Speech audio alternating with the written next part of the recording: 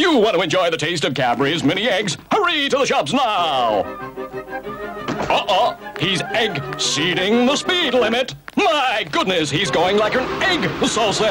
If he isn't careful, he's going to explode, exposing delicious Cadbury's Dairy Milk chocolate inside that sugar-coated egg exterior.